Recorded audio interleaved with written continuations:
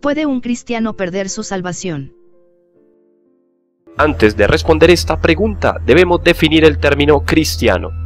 Un cristiano no es una persona que haya dicho una oración, o pasado al frente, o que haya crecido en una familia cristiana. Mientras que cada una de estas cosas pueden ser parte de la experiencia cristiana, no son las que hacen a un cristiano. Un cristiano es una persona que ha recibido por fe a Jesucristo y ha confiado totalmente en Él como su único y suficiente Salvador.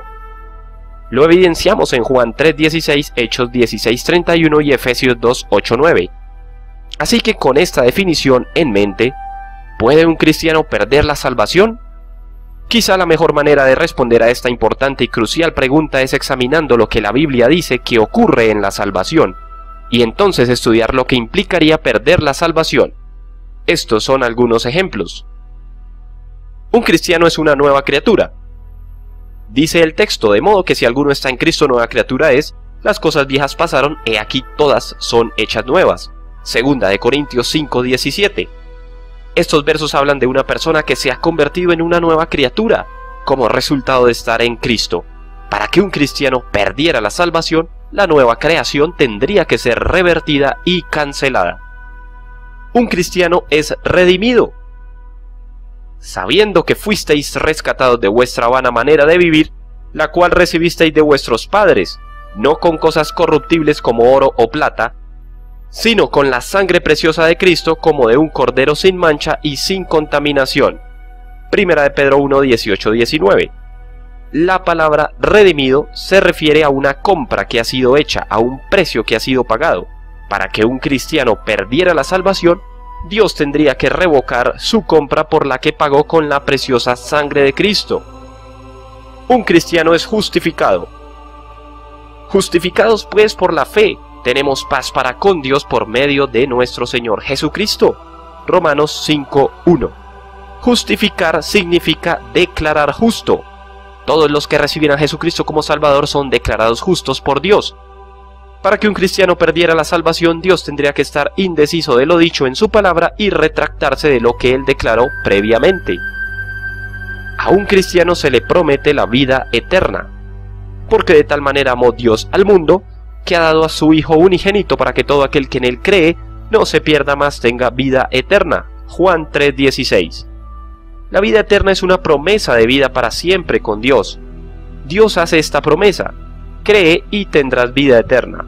Para que un cristiano perdiera la salvación, la vida eterna tendría que ser retirada.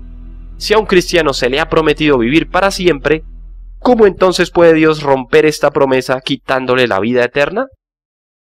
A un cristiano se le garantiza la glorificación. Dice el texto, y a los que predestinó a estos también llamó, a los que llamó a estos también justificó, y a los que justificó a estos también glorificó. Romanos 8:30. Como lo aprendimos en Romanos 5:1, la justificación es declarada al momento de la fe en Cristo. De acuerdo a Romanos 8:30, la glorificación está garantizada para todos aquellos a quienes Dios justifica. La glorificación se refiere a un cristiano recibiendo un perfecto cuerpo glorificado en el cielo, si un cristiano pudiera perder la salvación, entonces Romanos 8:30 sería un error, porque Dios no podría garantizar la glorificación para todos aquellos a quienes Él predestinó, llamó y justificó. Podría compartirles muchas más ilustraciones de lo que ocurre en la salvación. Sin embargo, aún estas pocas hacen abundantemente claro que un cristiano no puede perder la salvación. La mayor parte, si no todo lo que la Biblia dice que ocurre a una persona cuando recibe a Jesucristo como Salvador, sería invalidado si la salvación pudiera perderse. La salvación no puede ser revertida, un cristiano no puede ser descreado como nueva criatura, la redención no puede ser deshecha, la vida eterna no puede perderse y seguir considerándose como vida eterna, sería vida temporal. Si un cristiano perdiera la salvación, Dios tendría que retractarse de su palabra y cambiar de parecer.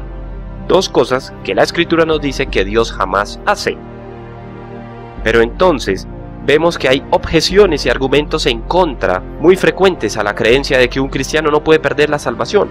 Una es, ¿qué hay de aquellos que son cristianos y continuamente viven una vida inmoral? Y la otra es qué pasa con aquellos que son cristianos pero luego rechazan la fe y niegan a Cristo. El problema con estas dos objeciones o preguntas es la suposición de que son cristianos. Primero, la Biblia declara que un verdadero cristiano ya no continuará viviendo una vida inmoral. Miren el texto. Todo aquel que permanece en él no peca. Todo aquel que peca no le ha visto ni le ha conocido. Primera de Juan 3:6. Segundo, la Biblia declara que alguien que se separa de la fe demuestra que realmente nunca fue un cristiano.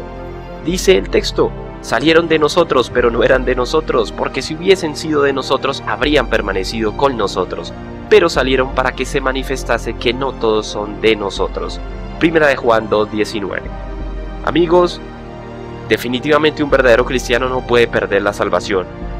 Nada puede separar a un cristiano del amor de Dios. Está en Romanos 8, 39. Nada puede arrebatar a un cristiano de la mano de Dios. Dice la Biblia, y yo les doy vida eterna, y no perecerán jamás, ni nadie los arrebatará de mi mano. Mi Padre que me las dio es mayor que todos, y nadie las puede arrebatar de la mano de mi Padre. Juan capítulo 10 versos 28 al 29. Dios quiere y tiene el poder para garantizar y mantener la salvación que Él nos ha dado. Judas 1, 24, 25 dice, Y aquel que es poderoso para guardaros sin caída y presentaros sin mancha delante de su gloria con gran alegría, al único y sabio Dios nuestro Salvador sea gloria y majestad, imperio y potencia, ahora y por todos los siglos. Amén. En conclusión debemos diferenciar la manera en que recibimos salvación de la manera como debemos vivir delante de Dios.